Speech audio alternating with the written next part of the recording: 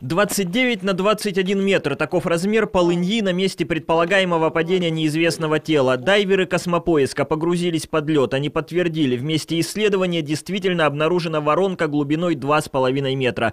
Под ней примерно полутораметровый слой песка. Под песком исследователи зафиксировали нахождение некоего предмета толщиной порядка двух метров. Об этом сообщает участник экспедиции Михаил Гусаков.